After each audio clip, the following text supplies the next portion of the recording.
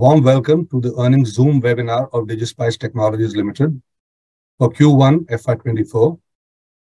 We have with us Mr. Dilip Modi, Chairman of DigiSpice, Mr. Sanjeev Kumar, Co-founder, Executive Director, and Chief Executive Officer, Spice Money, and Mr. Sunil Kapoor, Full-time Director and Chief Financial Officer, Spice Money. Before we begin, I would like to state that some of the statements made in today's discussion may be forward-looking in nature. The actual results may vary as they are dependent on several external factors. A statement in this regard has been included in the results presentation sent to you earlier. We will commence the call with the management taking you through the operational and financial performance for the period under review, following which we will have an interactive Q&A session. I would now like to invite Mr. Dilip Modi to commence the presentation. Over to you, Dilip. Good afternoon, everyone. Um, On behalf of DigiSpice Technologies, I would like to welcome you all uh, to the quarter one call for the company. Uh, it's always a pleasure to get to interact with all of you, and uh, we've always walked away from these discussions with lots of learnings and insights based on the question and answers that we have in this session. So I'm looking forward to a similar interactive dialogue with all of you today. Um, Friends, in quarter one, uh, start of April, we took a decision to exit our digital technologies segment business. And therefore, if you see from quarter one onwards, we are only reporting in our results as uh, the financial technology services segment. Uh, so now when you look at the results, you basically end up seeing the business of Spice Money and related um, costs. All financials linked to the digital technology services business is now shown as a single line around as profit and loss from discontinued operations. So it's much easier for everyone to now track the progress of the continuing business versus the discontinuing business. Uh, the discontinued operations will continue to get reflected in the consolidated financials of the company over the next few quarters, but we are hoping that the impact of this will just taper off, and finally, we will just end up reporting the financials associated to the continuing operations, which is that of Spice Money and related businesses. Um, we at uh, DigiSpice continue to be very excited uh, about the fintech space, uh, specifically the area that we are focused on, which is rural fintech. We at Spice Money are committed to solve for the challenges around lack of access to lots of consumers and merchants in semi-urban and rural India. Through our Spice Money digital platform, we are enabling delivery of both financial and non-financial services, Uh, both in deep rural India as well as in semi-urban India. Uh, over the last three to four years, uh, you know, we have built one of the largest off-us AEPS networks in the country, with close to over 17% market share. Our network is now present in over 250,000 villages of India and over 6,500 small towns. Now, as the economy progresses from $3.5 trillion to upwards, is this part of India that will significantly grow to contribute to the growth of the Indian economy. And we, through our digital distribution network, uh, see ourselves playing a significant role uh, in that GDP growth. Our focus is to leverage the Spice Money distribution network that we have built out to be able to add value to other segments. In our call today, we will share with you some of the progress that we've seen at the start of this financial year in new segments like the collections business, the banking business, as well as the credit business, all three of which have already started showing some numbers this quarter. Uh, our goal continues to be to build a very healthy and robust financial and digital services delivery business. We believe that there exists significant unserved and underserved demand pools, uh, whether it be in the space of credit, savings, or commerce, uh, in semi-urban and rural India. And we are excited to work with a lot of product manufacturers and service providers, be them banks, leading banks in the country, NBFCs, uh, insurance players, and many other uh, players in the commerce segment, to see how we can enable them to be able to deliver goods and services uh, to markets in deep rural India in a very cost-efficient and viable way. Um, so we are very excited that we start the year with now a restructured set of financials, where we are now being able to demonstrate our focus on a very core business segment of ours, which is fintech. And we hope that going forward over the next few quarters, we'll be able to show you how the business is growing quarter on quarter in this particular segment. I'd now like to hand over to Sanjeev, uh, the CEO of the company, to walk us through some of the business metrics. Um, over to you, Sanjeev. Thank you, Dilip. Good afternoon, everyone. Uh, firstly, uh, a warm welcome uh, to this quarter one uh, results presentation. What I'll do is I will I'll go through a couple of slides on talking about the Spice Money business model and give you an update on the business uh, numbers. And then uh, I'll request Sunil to come in and to talk, take us through the financial highlights for Spice Money and also the consolidated. Uh, next slide, please. My first few slides will be a bit repetitive for others who've uh, been attending these uh, calls, but allow me to do this for anyone who's just tuned in for the first time. Uh, what are we trying to solve in Spice Money? We're actually, fundamentally, we're democratizing financial and digital services for the underserved. And how are we doing it? We're building on the digital stacks to solve for this problem of lack of access in rural India. Was this problem avail- was this problem there earlier? Answer is yes, it's been there for years. But the fact that in the last six years, uh, this country, we've been able to build open infrastructure of and, and, and digital stacks that we could leverage is what has enabled players like us to solve for this fundamental problem of lack of access. Uh, the current digital stacks on the left, everyone, all of us know about it, is what we've been using. The, there are emerging digital stacks which we are aware of. ONDC is one, one, one of them. AA account aggregator is another. Even digital health ID is a, is a futuristic, very interesting digital stack that's going to emerge. Can we at Spice Money leverage the current digital stacks the way we've been doing and then also uh, bank on the new emerging digital stacks to solve for the problems of lack of access of those segments. Uh, that is the opportunity we are chasing. Next slide. Given, given this, what is our current, what is our business model? So for us, our customer is this Spice Money entrepreneur whom we call, whom we call a Spice Money Adhikari. Uh, we have enabled this person, this uh, entrepreneur with an app, which we call the Spice Money Adhikari app on this app, we've enabled a lot of services uh, which, which he uses to serve to consumers in and around his community.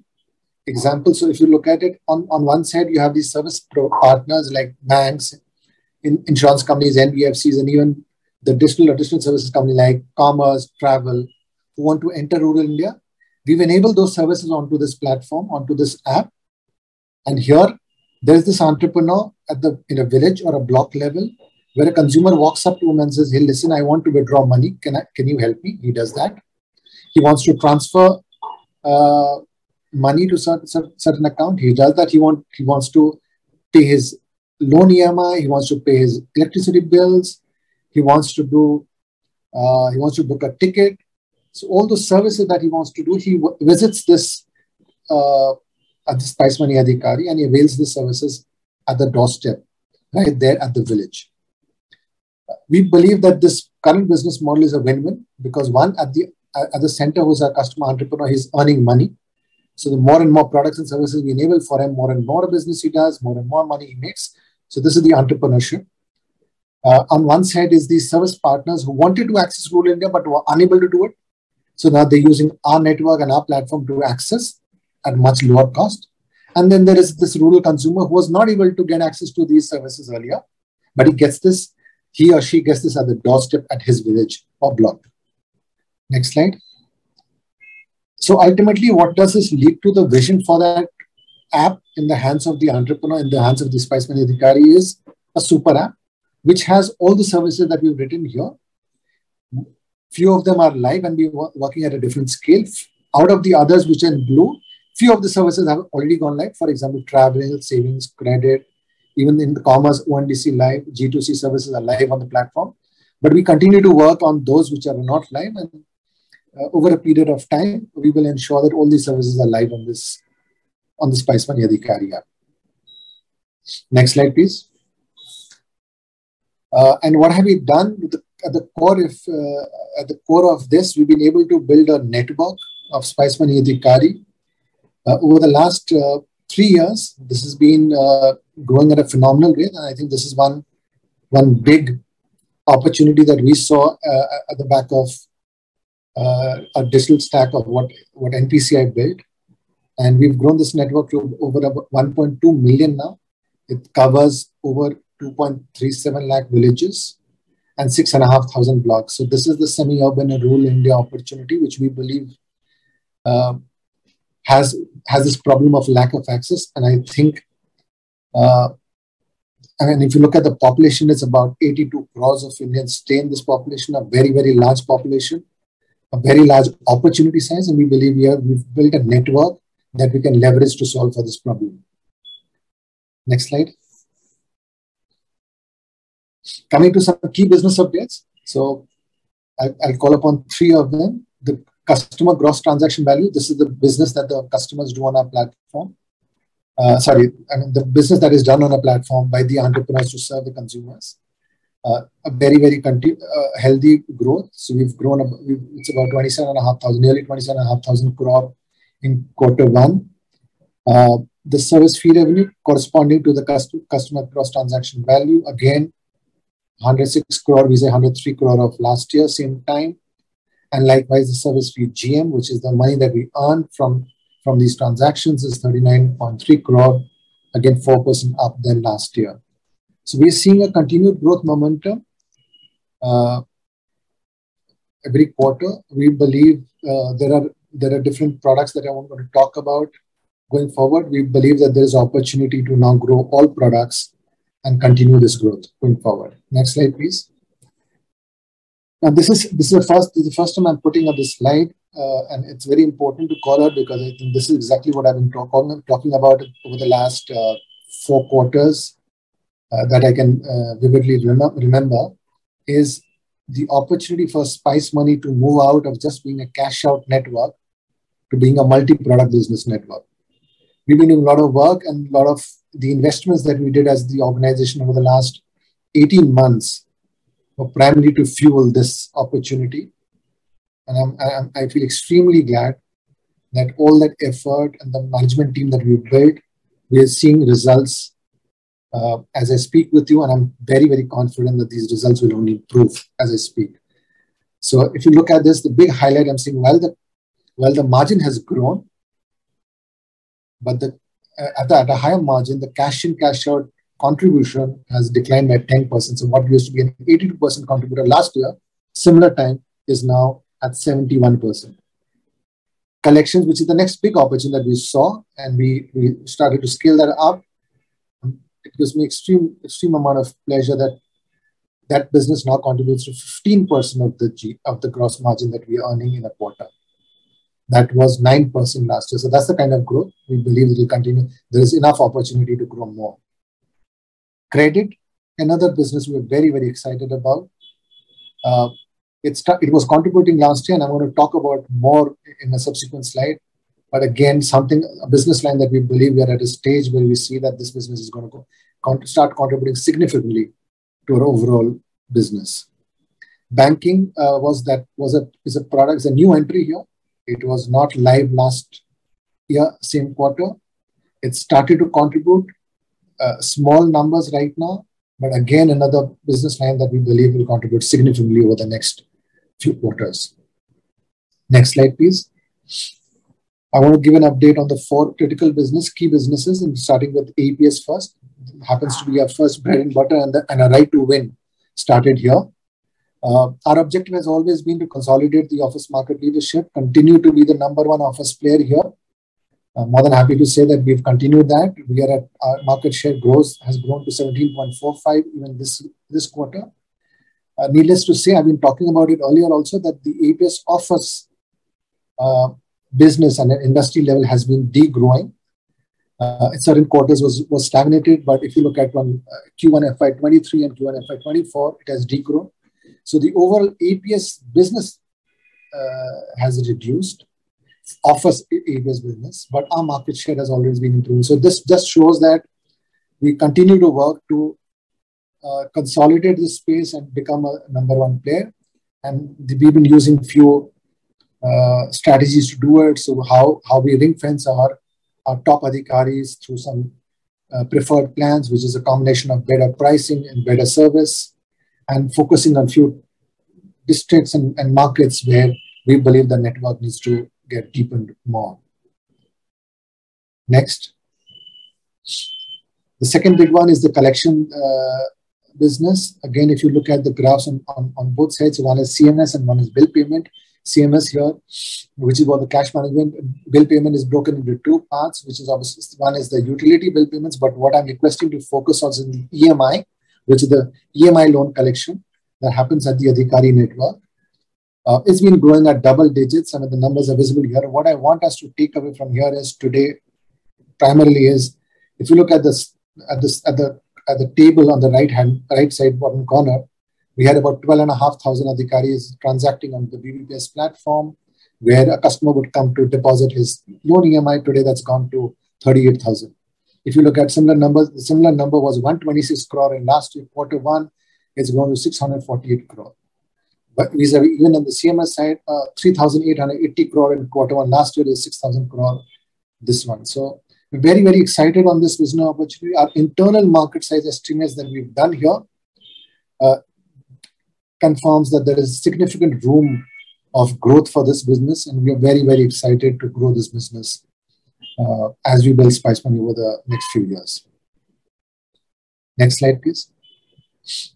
Uh, this is CASA, which is current account savings account. Uh, so we've started. We started this. This is a new uh, product entry in our suite. Uh, we've we've gone live with about twenty six thousand adhikari. This is nearly about less than 5%. This is about 2% of our total Adhikari base. Early days for us here.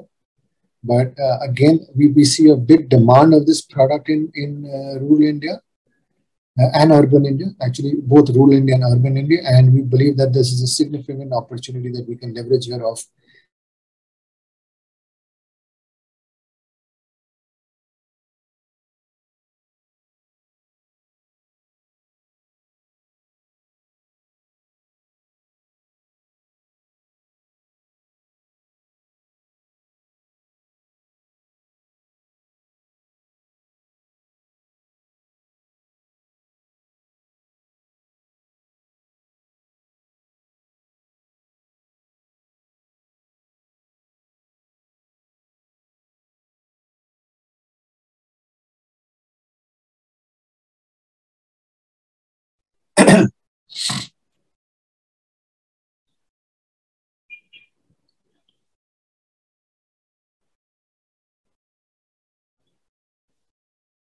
Yeah, thank you. yeah.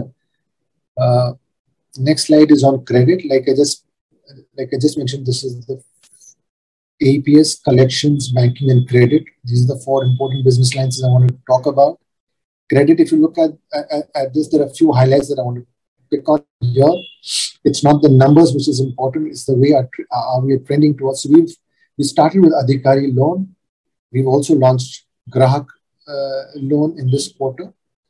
Uh, last quarter, we did we did some very minimal uh, business in Grahak loan, about 41 lakhs. This scaled to 2.1 crore in this quarter. Uh, the ticket size, average ticket size, these are these are small ticket size, again, typical of our segment that we are dealing with. But again, a very, very large opportunity. I don't have to talk about the opportunity size in this. Everybody is aware. Uh, we believe in terms of the efforts that we've put with the management team in place over the last 18 months, uh, we're very, very excited of how we want to build this. We see significant room of growth opportunity here. Currently, we have six lending partners. Uh, uh, we, we do this business as, as uh, being partners to them. We don't do this on our balance sheet. And there are many more that are uh, in progress in terms of integrations. And this, we believe that this is another big opportunity that we will unfold in terms of growth over the next quarter, next few quarters. Uh, I, that's all from my side. I'm requesting Sunil now to uh, please take us through the financial numbers, please. Sunil. Thanks, Sanjeev. Good evening, everyone.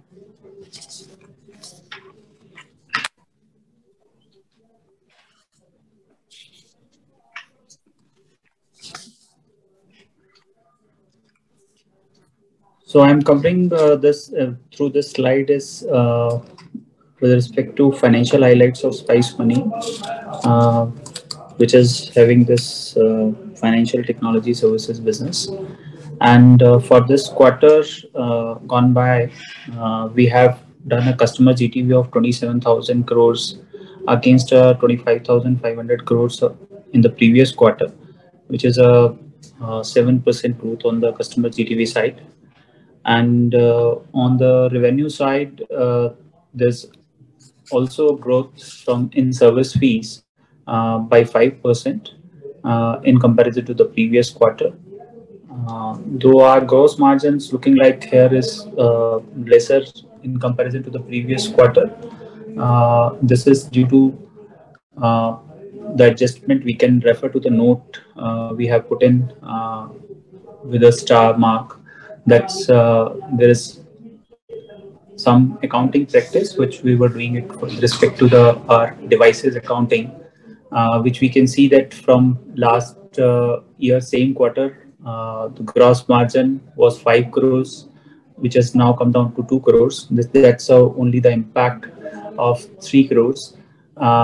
so if we see apple to apple, then uh, we have uh, grown in the gross margin also in this quarter in comparison to the previous quarter. Um, and uh, indirect cost is also almost flat, not increased in terms of uh, uh, the way we have grown uh, from the previous year's same quarter. And EBITDA is looks like it's 2.6 crores in comparison to the 5 crores in the previous quarter. the the reason I had explained that's uh, with respect to the device accounting uh, that way that's why this EBITDA is also uh, looking lower but uh, which is almost a flat uh, in terms of quarter to quarter comparison uh, and if we see the depreciation piece uh, what I had explained that and this note first note explained about that that depreciation on the devices which we were capitalizing we have discontinued it from 1st April and result of that is that our depreciation is uh, lower in this quarter and having uh, due to the same our uh, EBIT is uh, better in comparison to the previous quarter. And if we see uh, our service fee GM on service fee revenue, uh, that is continues to be at the same level, 37% to 38%. Yeah, we can move to the next slide, please. So here is the consolidated financial summary, uh, uh, as mentioned by Dilip, and that we have uh, we have discontinued the business of digital technology services segment, and uh, which has been reported separately. So now the consolidated financial summary, uh, besides the discontinued uh, operations, comes under this slide, which have a spice money business primarily and uh, other uh, some corporate and other uh, income that's coming under this slide. So if we see that uh, uh, on the um, uh, EBITDA side, there was a negative on others cost, which is almost 2 crores. And on the EBIT side, we have a better positioning from this quarter. That's uh, 8 crores. 7 crores coming out from spice money and 1 crores coming out from uh, others which is not uh, allocated directly to spice money so this is the consolidated financial summary the same uh, reasons of uh, what uh, i have covered in the previous slides that is also mentioned over here in this slides on the right hand side that's the change in the device accounting and consequently the depreciation has also got decreased. We can move to the next slide. Please. So this is the uh, just a uh, summary of the discontinued operations. Uh, though there is a operating uh, loss uh, in this quarter with respect to uh, 1 crore rupees and there is an exceptional item due to discontinuation of the business, the goodwill and one of the disposal of the subsidiary to coming out from this discontinued business. So there is a this is a one-time item of 6 crore rupees. And in tax expense, because of uh, we could not carry uh, forward the deferred tax asset, and that has been also uh, written off uh, of 13.4 13.43 crores. And due to this reason, that's uh, profit after tax is looking negative 21 crores. So these exceptional item and this one-time write-off will not be there going forward. And uh, hopefully we will be um, having uh, very minimal uh, losses with respect to because we have discontinued the operations. So uh, going forward, the consolidated results will be without this business, which is which was uh, dragging the results of the uh, company on overall basis. I think that's all from my side. Uh, I uh, give it back to uh, Shiv. Yeah, I'll take it. Thanks. Further question and answers. Yes, thanks, Sunil. Uh, we'll now commence our interactive uh, session over Q&A. We will take questions from all participants. Please state your name and the firm that you represent to identify yourself before asking your question. We will be taking questions via chat uh, as well. In case any participant would like to type in questions, even that is available. Now we'll wait for a moment for questions and uh, we'll, we'll start the Q&A session. The first question from the line of uh, Debashish Neogi.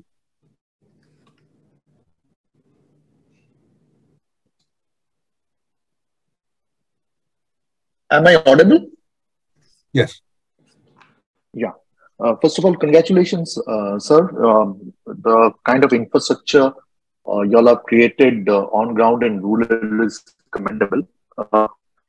Uh, so, uh, if I were to look at look at it in an outside-in perspective, what I see is that if I break the business as phase one, which has already happened, and what you're going to get into, phase one was you know building um, a simple and convenient banking solution, innovative new products to meet evolving needs of uh, consumers and adhikaris. You built a good uh, distribution network. So that was phase one. Now, your phase two growth, uh, what I see, sir, is going to come from uh, mainly, correct me if I'm wrong, is you're looking at credit and banking as a big opportunity. So my question to you, I have a few questions. My first question to you is that uh, credit is a different ball game so are you going to take uh, credit uh, risk on your books? Is uh, will the AUM come here to your books, or it is just you're using uh, the platform for the lending partners, where the AUM will sit on lending partners' book? Hello. Debashish, you want to just uh, maybe give uh, outline all your questions and we could just then answer them one by one, or this was the only question you had? No, no, I have few questions. This is my first question. Yeah. Uh, second, uh, second question is uh, uh, on the you referred on one of the slides on MFI. Um, there's an EMI collection bit or through BBM, BBS. If you could elaborate on that because uh, uh, are you are you also collecting from MF, on behalf of MFIs? That was uh, the second question. Um, third question is uh, who is your closest competition? You're unique in nature, specifically in rural. But if uh, I were to, you know, force you to name a nearest competitor or who you feel is a good good competitor who you're benchmarking with who would it be? That is the third question.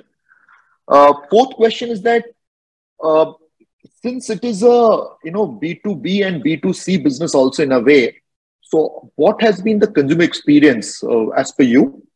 Uh, and uh, fifth question, uh, which is very important, what you feel this is a very crowded space where the what I understand is the barrier to entry is on a lower side so from that perspective, what you feel is the competitive edge uh, for uh, DigiSpice?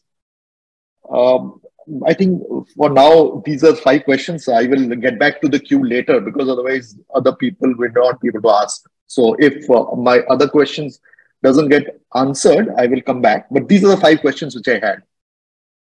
Thank you. Uh, thank you, Devashish, uh, you know, for these questions. Uh, uh, maybe what I'll do is give it a first crack and then uh, Sanjeev and Sunil can add on. Your first question, Devashish, was on the credit business, how we see it. Uh, as you saw in the presentation that uh, we just made, uh, Devashish, today we are looking at tying up with third-party lenders who are leveraging our platform to be able to reach out to both our adhikaris and the customers that are approaching the adhikaris in a low cost efficient way.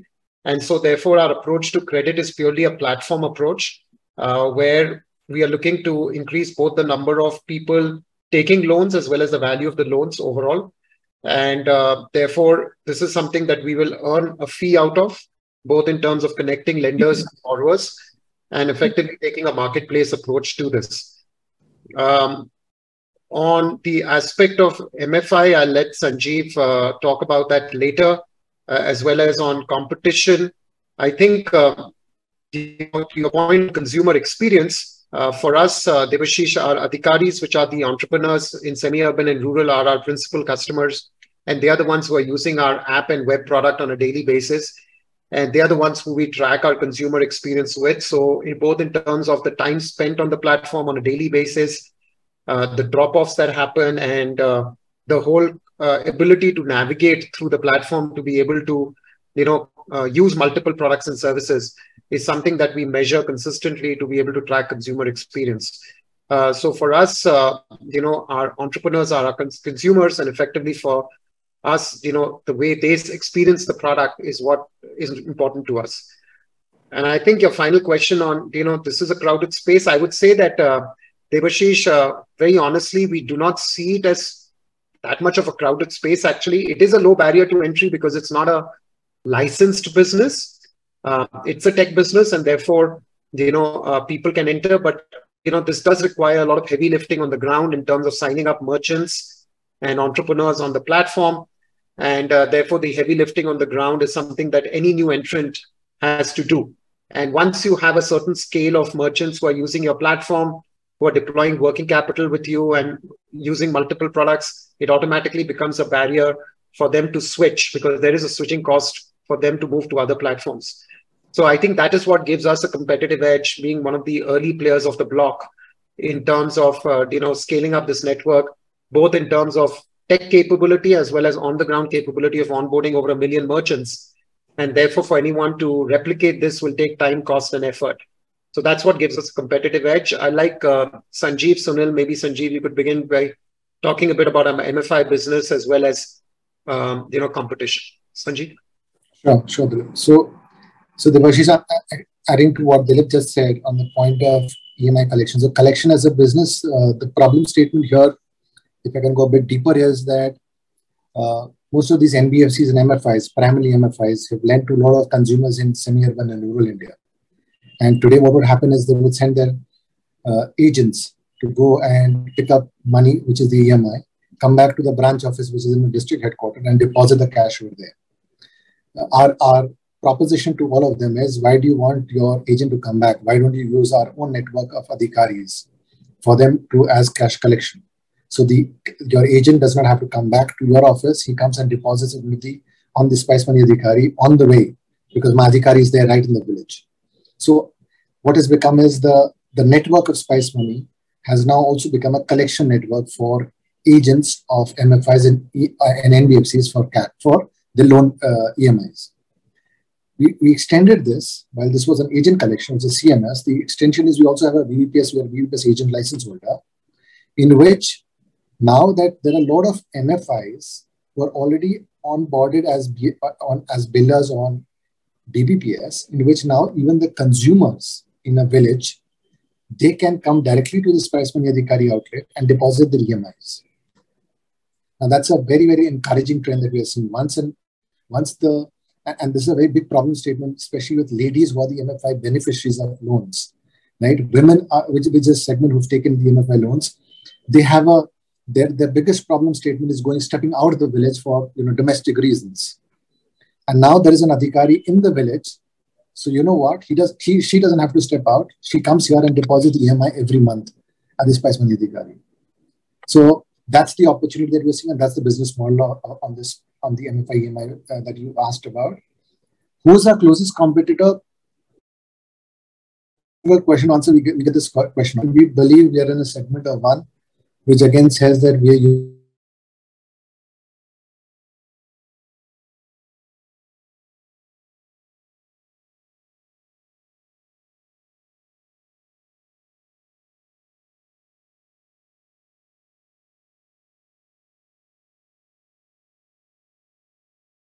that's where you probably say entry to barrier who are also doing the case. But uh, I think the ability for a network like us to do more services, more products and services like collection, banking, credits, more digital services. I think that we, we find ourselves uniquely positioned, and I think that we, believe we can win. Uh, sir, uh, this uh, MFI space which you just mentioned, you know, the the collection, uh, I've been invested in this space and I closely track for more than a decade the MFI space. Uh, you know, if you see with all the Black Swan events, uh, that space is growing. I'm saying the sector has been growing more than 20%, and it is going to grow more than 20% this uh, uh, this decade also. You have mentioned the market size as uh, one lakh fifty-five thousand. I'm not sure. Are you talking only about the digital side of uh, the MFI collections or the entire collection here? Because the entire market is, uh, you know, close to 5 lakh crores. Correct. So what I'm what so there were two parts we mentioned. One was the CMS market estimate. These are more internal uh, to us, and one was BBPS. That was more of the EMI assisted, and that also mm-hmm. on with with billers who are on the BBPS platform. So it's a slightly smaller segment that we are we've, we've taken as an opportunity. Like you said, uh, the outstanding is 2 lakh crores. So the opportunity on, on this in the MFI space is very, very, very, very big. Yeah, and this is very unique what you're trying to do. Only thing is, sir, this uh, MFI collection is very high touch business. If you know, so I'm not sure how that touch uh, uh will get addressed uh, through the Adhikari network.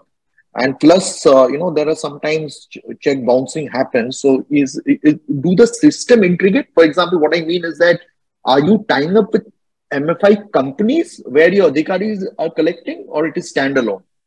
So th- this is a very interesting question and we can have a longer conversation on this, Devashish. But uh, some very interesting trends are emerging in this space. What MFI used oh. to be earlier, Devashish, which means you have to have that, you know, group meetings for collection. Correct, JLG. G, uh, and, the, and, the, and the meeting was very, very important and, and uh, as, a, as a fulcrum to collection. That Correct is dissipating with time.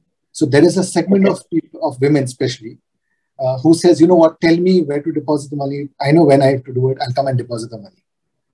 Uh-huh. Okay. And that's a very encouraging. Number one. Number two, on the MFI space, they're also encouraging such behaviors because for them, the cost, the economics of collection goes down. Number 2 mm-hmm. Number three, our adhikari, like I said, we are in 2.2 around 2.5 lakh villages uh, today. So then Adhikari is at the village, which then also becomes very convenient for the lady to come and deposit. And most of this money deposition is happening, not most actually, everything is happening in cash. There's no check bouncing. Mm-hmm. So we are integrated. So since it's live on BPS, we are integrated. The, the MFI's integrated system is integrated on BPS as a biller. We put the money, it's all reconciled. They get a dashboard on a daily basis. Oh, fantastic, sir. And, so uh, one more question. One more question I have, if, I, if you can permit, you know, uh, how you are getting, how you're acquiring adhikaris or, uh, you know, uh, the CASA accounts. For example, you said, you know, uh, you are, uh, you know, so could you just elaborate, you know, the your your uh, credit model when the Grahak marketplace when you go i'm not talking about credit to adhikaris that is easier because they are on your platform i'm talking about one level down, the consumer credit, how you're approaching that and how you're approaching CASA accounts?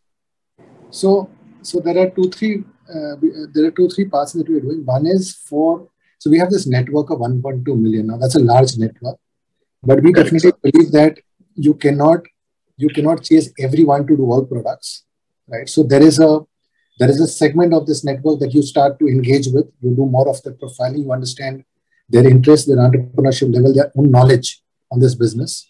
And that is a segment. So that's why we said we've only onboarded about 26,000 adhikaris to do banking, to sell accounts. And that also is in the catchment area where we believe there is a potential to do banking, not everywhere. So that's the way we identify the adhikari. We train the adhikari uh, to do this product. On credit, we follow a similar approach of identifying the potential adhikaris. Are obviously the, the way the product journey has been designed. And I think that is where we bring the differentiation. So, you know, when when, the, when someone asks this question to us, what is the right, what is the right to win? It's actually not only the network, it's also the journeys that we build. And I think that is where, you know, we come in of doing a more grounds up product approach rather than just a top down. The that leadership at Spice Money a lot of the work is spent on building this product platform.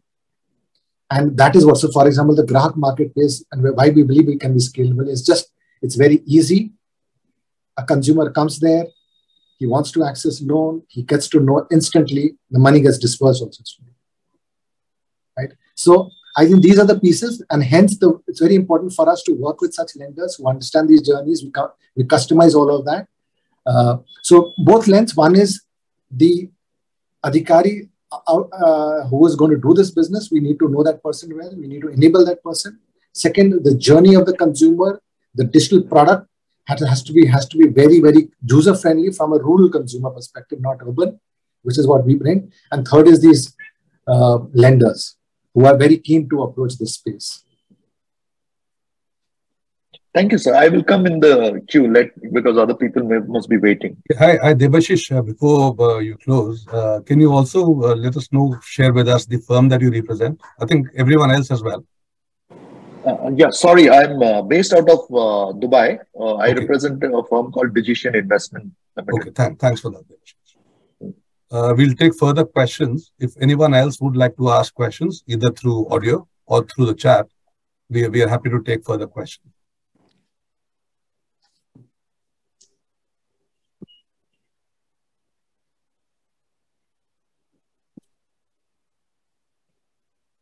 Anybody else with questions? Yes, uh, we have the next question. Joseph?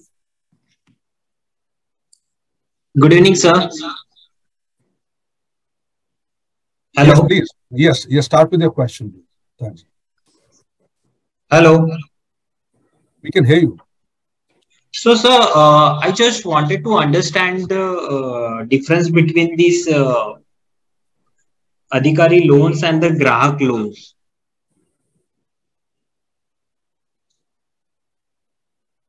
So, uh, Joseph, can you hear us? Yeah, yeah. Basically, Adhikari loans are Joseph's that the Adhikaris take for themselves. Uh, these are the entrepreneurs who are on our platform using the app. And Grahak loans are the loans that Adhikaris enable their customers, who we are referring to as Grahak, to take.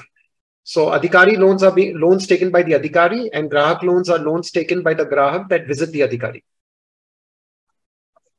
Okay, okay, okay. And uh, sir, uh, hello, am I audible? Yes, yes, you are, and you can continue, please. Thanks. Yeah. Uh, so, sir, uh, sir, uh, can you just uh, uh, give a brief about this business model, about this credit space, uh, and how are we are operating, and uh, uh, what are our plans to compete with the other companies Sanjeev, you want to take it? Yeah. So, uh, Joseph, firstly, I think the opportunity is it's out there in public space of the opportunity of credit in rural India. Uh, so these are some mind-blowing numbers. I don't think that is something we want to talk about. Number one. Number two, I, I feel the opportunity for players like us, which is what we're trying to solve, is again the lack of access of credit. So on one side, there are today there are a lot of lenders, uh, including NBFCs, uh, who want to lend to this space. There are consumers who want to get that, but there is there the ability to marry the demand and supply in in areas like rural and semi-urban, according to me, according to us at SpiceMe is missing. Two, building on that, the opportunity to customize the products for those consumers is missing because the need, the demand for uh, credit is, is vary because the economic cycles, the monetary cycles, the ecosystem is very different than uh, urban India. So I think these are the few pieces that we are trying to work on to win the uh, or or leverage the credit opportunity.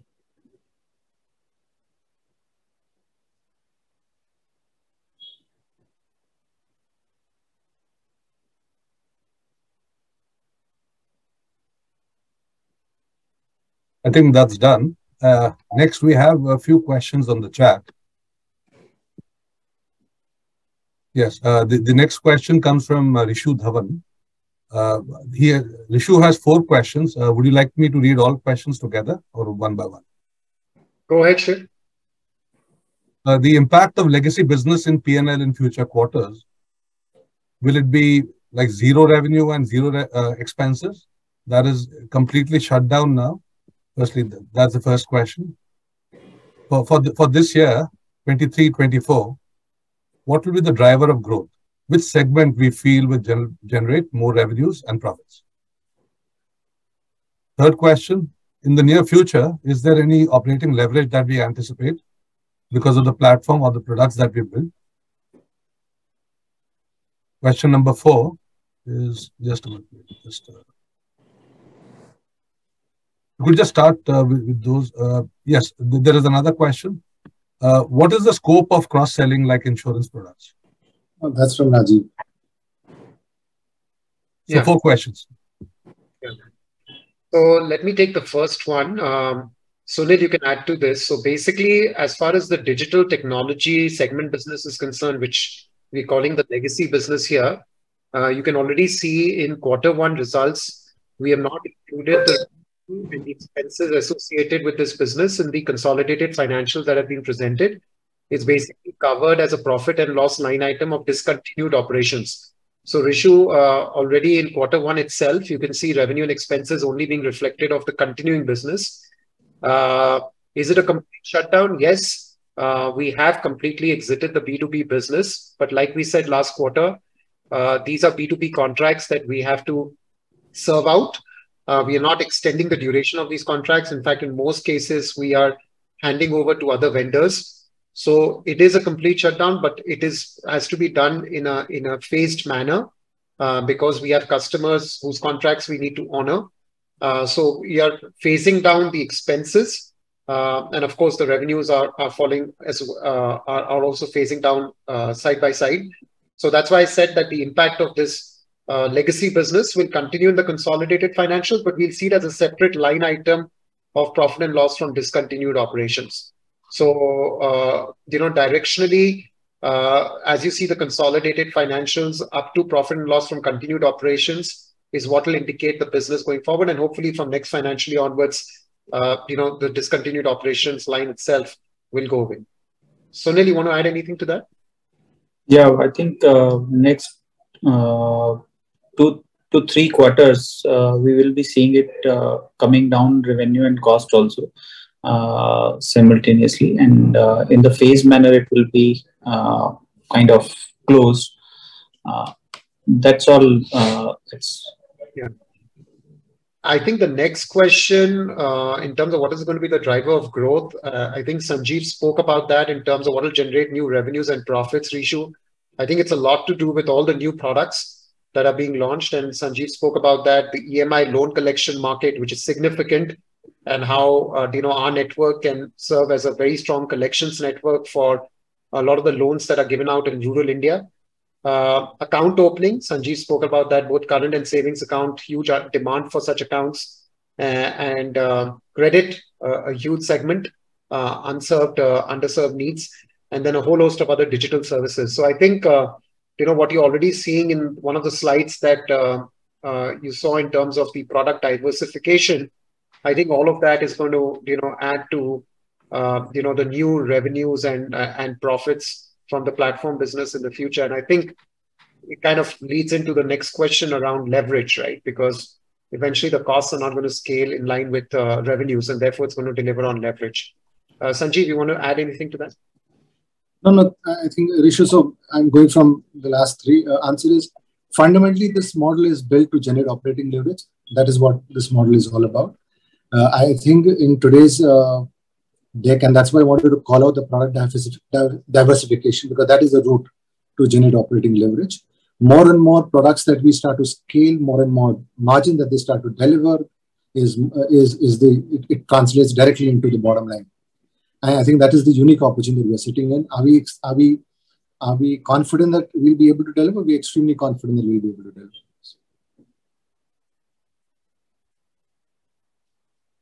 Yes. Uh, there's this one follow-up question from Rishu once again. I think it's uh, it's about uh, your margins in loan EMIs, collections, credit, and account opening. What kind of margins do you have in, in these segments? Sunil, you want to talk about that? so, uh, on the collection, uh, on the EMI side, this is uh, on the BBPS platform, which is a standardized uh, uh, charges and the margin for us. Uh, it's almost 28 to 30 percent what we have for our service versus gross margin ratio. So that is in line with that. And with respect to on the credit side because we are earning a fee uh, income over there. Uh, so that has a on the basis of the collection and also on the uh, uh dispersal and uh, um, kind of administration charges. So it comes around to be in the range of 1.5% uh, to 3% of the loan dispersed and collected. Thanks, Sunil. Uh, uh, next, we have another question on the chat. And uh, this is from Amit Tiwari from Rain Investments. If you could throw some more light on Grahak Marketplace, uh, though it's in the beta stage, uh, what is your arrangement with Adhikaris? So, Amit, uh, I'll answer that. Again, like we said, we've just gone live with this this quarter we started we started very briefly last quarter about 38 if i remember the numbers correctly uh, uh, consumers were given loans and this quarter has become nearly 1500 right? But it's early days. The model is like we just spoke about that there's an adhikari who on his platform he's able, able to show that if there's a consumer who wants credit he can he or she can come here and basis some underwriting which is basically on, on, on the credit bureau score uh, is what the person gets an uh, uh, loan instantly. Uh, early days, so there are different product programs that we will be launching for different grahaks. That is what we're doing. So if you remember, there's one more line that I put in there that we've also initiated a BNPL QR product, and there's some really good signs there also that we're experiencing. So to focus to enable a merchant, to enable an adhikari to offer credit to the consumers that come to him or her is the opportunity. That is this whole Grahak marketplace. So it's a it's a marketplace which will have all lenders uh, enabling this uh, credit through the Adhikari. And uh, Amit, just to add to Sanjeev's point, I think we do see it as a two-way marketplace, uh, many to many. So a lot of lenders who want to secure lending uh, in uh, semi-urban and rural India, um, you know, today find it very difficult for them in a cost viable way to access consumers. But by being part of our digital marketplace, uh, they can get access to lots of consumers and their data and be able to underwrite digitally and be able to disperse some capital directly into their accounts. So I think uh, our platform serves as a good way to capture leads, uh, data used for underwriting, and eventually uh, you know, be able to uh, make sure that they can scale up, um, you know, on their products, uh, you know, in a cost viable way.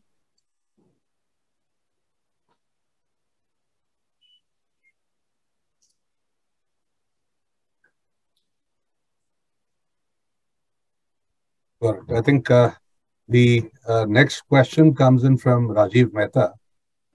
Uh, any plans of starting remittances business? What is the percentage of total adhikari payout? I think, uh, and third, uh, who are our top two competitors? I think Rajiv has put one more question earlier about scope of cross-selling like insurance products. Hmm. Yes. Um, yeah. That's so, right. Rajiv, you're right. I think insurance is another one important opportunity that we must chase and win in, in, in semi-urban and rural India. But like I've been always saying that, you know, we want to take up products one by one and we're very serious about building them. And I think that is the confidence that you will you will take away over the last two years that we started with, with the vanilla e-based business is what we started with. Then we went into collections. We're scaling that up. It's already showing progress. Now we're moving to banking and, and credit, and in, and insurance is definitely part of the roadmap. So we will take it up. But once we want to scale up these three products over the next at least 12 to 18 months to a significant level is when we will now also take up insurance. Yes. Great. I think uh, next, I think we can take this. Uh, I think Devashish Neogi wants to ask some further questions. So Devashish, all yours, you could ask. No, sorry, no, no. Rajiv still had question on any plans of starting remitting business. Which remittance business is this? Uh, I think there is a bit of domestic remittance which we are part of. We're not very keen to build that business, not from any other reason, but just because that we are more on the receiving side in terms of geography, more in the semi-urban rural India, and remittance happens from urban to semi-urban. So we are more in the receiving end. Hence, domestic remittance is not an important part. If you're talking international remittance, nothing that we started right now. Uh, not that something we have in, in the immediate future. Uh, what is the percent quota adhikari payout? Uh, as a thumb rule, uh, our business model is revolves under making money from the product partners, uh, and about two thirds of the money of that goes to Adhikari. Who are our top competitors? Uh, I just spoke about. Uh, I believe that we are very uniquely positioned in a, and we're in a space of segment of one, uh, which means that we don't, we don't, we're not able to figure out who our competition is. We actually believe we're uniquely placed here. Uh, in terms of our business model and the opportunity that we are seeing, especially also in the segment that we're operating, which is genuine rural India uh, and then semi-urban. I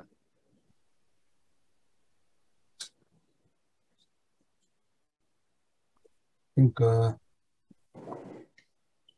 so I think uh, next, I think we can go to Devashish. Devashish Neogi, your questions, please. Am I, yeah, am I audible? Yes. Yeah.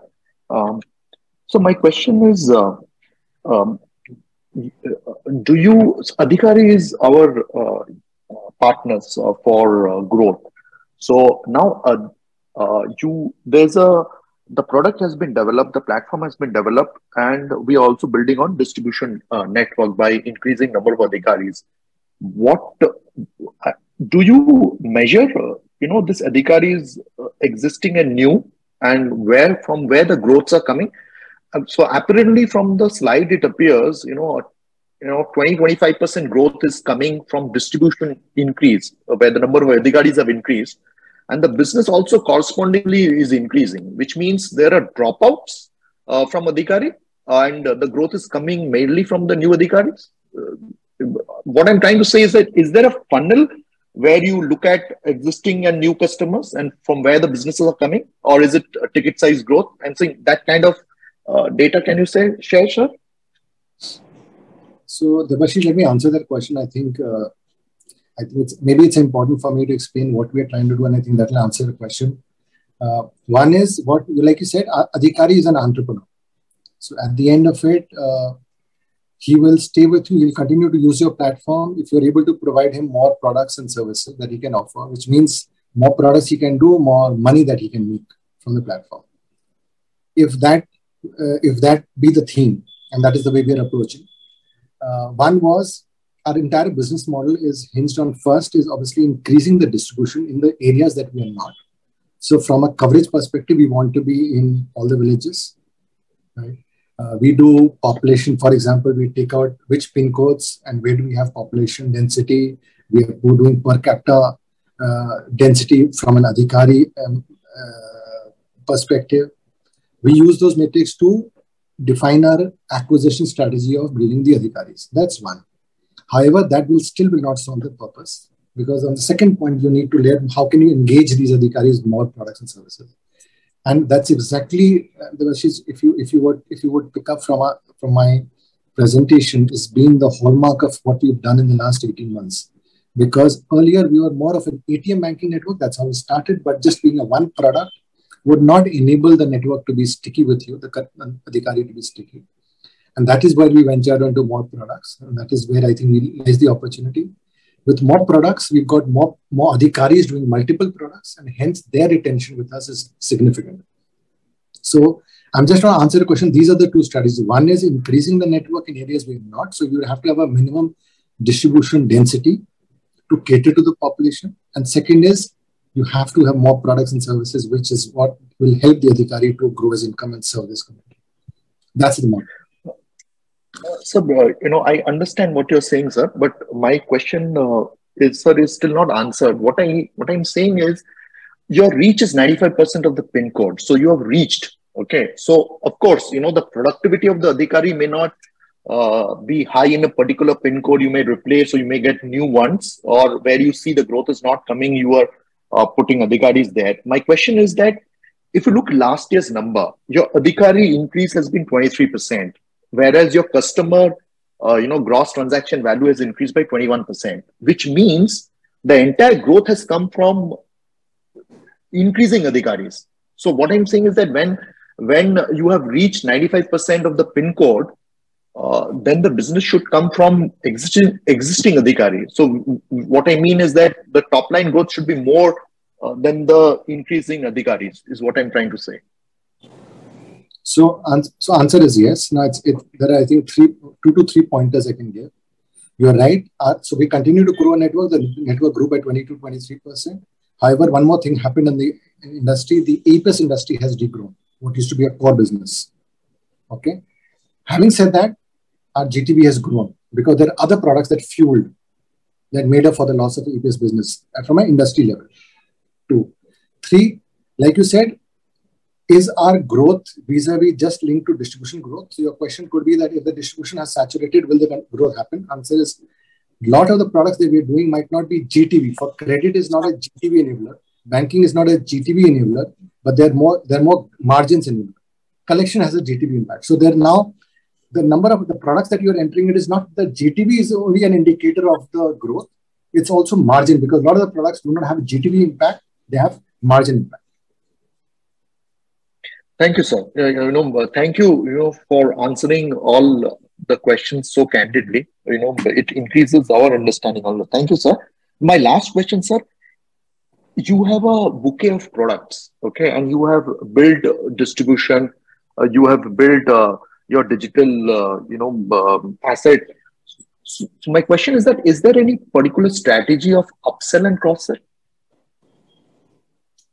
So, uh, Devashish, that's exactly what I was saying. I mean, it's all about upselling to the Adhikari. So today, like I said, all these products, they're layering on top of each other. We started with AEPS, then we started with collections. Then we started banking, then we started doing credit. So today, for example, one of the matrices that we track is how many Adhikaris are doing more than three products. That's okay. nothing but cross-sell. That's nothing but upsell. And actually, okay, understand, sir you see both your questions are kind of connected right? Because as we move towards a multi-product platform we expect our existing adhikaris to start using the platform to do multiple products devashish and therefore the operating leverage point that you were making that the scale in revenue should be faster than the scale in the network. And that's the point on operating leverage that we believe that we have an opportunity going forward as we scale on products. Understood sir Thank you, sir. So, so people also contributes, uh, must be contributing an important factor. Though it's a digital business, but controlling the adhikaris, you would be must be having a proper organization structures to. Uh, I'm talking corporate structure or the field structure to manage the adhikaris. So people also play an important role in your business. Yes, Devashi's answers today. We are uh, we are about 1100 employee strength internally, which is spread across distribution, technology, corporate, product, and support functions. Uh, apart from this, we have a network of about 4,000 uh, distributors whom we call partners, who, are, who in their local geography, which is more at a uh, more than a district, so two blocks, maybe at a block level, they manage a set of adhikaris on in terms of acquisition, servicing, and, and you know upselling. So, so we have, so that's a structure that we have today, uh, Devashish. What's your biggest challenge, sir? What is your biggest challenge? So the, the biggest challenge, Devashish, is that this uh, market that we're talking about, these products that we're talking about, I think not many players, or I, I don't know how many players have been able to crack this operating model, demonstrate success, and you know being able to gen- demonstrate multi-product uh, sale. I think that is the opportunity. One. Uh, and that is the opportunity, that's a challenge. You're not being able to do it. So, you know, there's a lot of customization. You need to understand rural very well. You need to design products. You need to, you need to marry the demand and supply. Everybody knows there is a demand. Everybody knows there's supply. Question is who, who can marry the demand and supply? I think that is where the meat is. That's where the opportunity is. Uh, second, on, on, at a very operating level, hence if you're able to do that, the Adhikari entrepreneur stays with you because he does more and more products and services. He does, he earns more and more. So it's, it's a chicken and egg situation. How can you how can you marry uh, the right product with the right adhikari to serve the right consumer in the right market? I think that's the operating model that yeah, we need to crack. And we believe that we've been able to crack a uh, few. We're on the on, on the verge of I mean on the path of being able to do for others. And that is that is our challenge and opportunity. So you, you have built a brilliant uh, infrastructure. In fact, you know now you're completely focused on uh, on DigiSpice. Okay, so and the presentation is crisp, sharp, and very easy to understand. So uh, all the best to you, sir. My last question, sir, is what is the risk to the business as per you? I'm saying business. You know, you being you know running this business for uh, for quite some time as a company. What do you feel is the biggest risk? I think uh, Devashish, uh, right now, uh, you know, single product dependency. I, I think, uh, you know, AEPS as a category continues to contribute significantly to our gross margins. And like Sanjeev mentioned, this industry has been facing tailwinds, uh, headwinds in terms of uh, overall size of the off-us AEPS market. And that's why we've been trying to grow our market share in, a, in, a, in this market. So I think, uh, you know, just product diversification and uh, you know, I, I think regulation wise, uh, Devashish, we, uh, you know, it's it's a heavily regulated space, financial services. Uh, I, I think, uh, you know, regulation is constantly evolving around lending and, and, and other spaces. Uh, so these are something which is work in progress. But I think uh, from a business point of view, I think the, the, you know, just having a lot of your margins come out of few products is, is the biggest risk that we carry. Thank you, sir. Thank you, uh, sir, for answering all the questions so candidly, transparently, uh, and openly. Thank you, and all the best, sir. Thank you. Uh, thanks, Devashish. Uh, uh, I think uh, with that, we have addressed all the questions from participants in the call today. And I would now like to hand it over back to the management of uh, DigiSpice and Spice Money for any closing comments. Well, thank you. Thank you, Shiv. Uh, let me once again, on behalf of the management of DigiSpice Technologies and Spice Money, thank everyone who's taken time out to join us on this call. Uh, we are a company which is work in progress. And uh, just the parting thoughts uh, that I would like to share with all of you is that we are in a very exciting space, which is containing many demand pools which are unserved, underserved in the financial services segment. Uh, but like we said, it's we are in a segment of one uh, you know, we're constantly focusing on uh, product innovation with the right set of partners to be able to get our Adhikari network to deliver a lot in terms of penetration of financial services in deep rural and semi-urban India. We believe that as we continue this journey, it will place us in a unique position, uh, you know, and really be able to add value to both sides to a large base of consumers, over 80 crore consumers who are living in rural and semi-urban India, who are lacking access, and a whole host of product players who are wanting to reach out to them and how digital platforms can serve as a most optimal way for them to be able to do it in a cost efficient manner. So we are continuing in this journey. We hope quarter on quarter we'll be able to share with you our progress. And if there's any other uh, you know insights, uh, experiences that you can share with us, uh, we are all reachable. Uh, you know, so would love to stay connected even during the course of the quarter on behalf of Sanjeev, Sunil, and all of us, thank you so much. And uh, we hope to stay connected. Thank you. Thank you.